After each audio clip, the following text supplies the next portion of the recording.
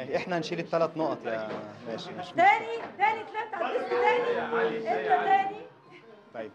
يلا ممكن آخد بقى كلمة كده ما تعرف يا فندم اسم حضرتك؟ معلم أول ألف سيد محمد الأباصيري.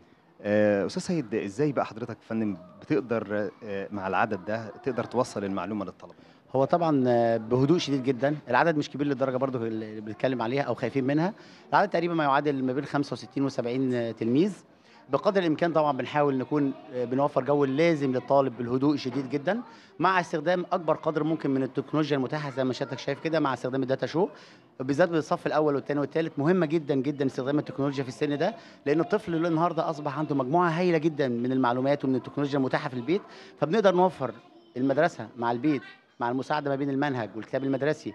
وطبعا تعديل أسلوب التدريس بصفة مستمرة استخدام أكبر قدر ممكن من علوم التكنولوجيا زي ما قلت لحضرتك في الأول. ده بيتيح لنا فرصة كبيرة إن إحنا نقدر نوفر أكبر قدر لراحة الطالب مع استخدام كل السبل المتاحة وكل الإمكانيات المتاحة داخل آه، الفصل. حضرتك أنت حضرتك كمدرس هل في أي مشاكل بتقابلكم هنا كمدرسين في الأعداد.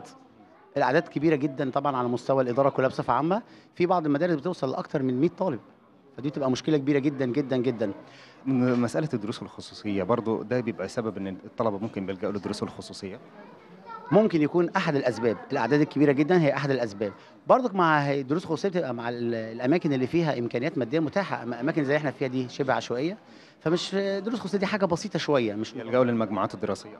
آه في مجموعات دراسية منتظمة ويعتبر سعرها دلوقتي طبعا أفضل من أول كتير وده بيوفر للمعلم فرصة كبيرة إنه يقدر يشتغل داخل المبنى المدرسي بكل راحة وأمان.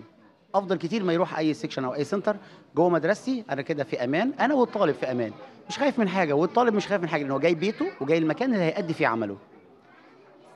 يعني أنتوا حضراتكم كمدرسين ما فيش أي مشاكل بتواجهكم كمدرسين آه، غير مسألة العدد اللي موجود؟ الأعداد. كرواتب بقى أو أي مشاكل تانية دراسية مش طبعا أكيد. سيادة الوزير صرح قبل كده إنه هيبقى في تعديل لرواتب المعلمين ونأمل في ذلك إن شاء الله. بشكر حضرتك أستاذ